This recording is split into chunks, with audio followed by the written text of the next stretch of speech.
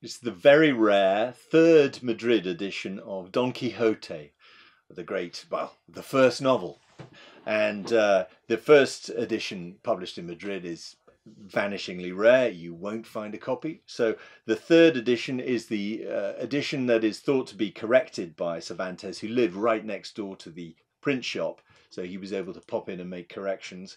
Uh, it had been printed elsewhere, but this was the original printer, Juan de la Cuesta, who printed the first edition, uh, also in Madrid. So it really has that connection with the first edition.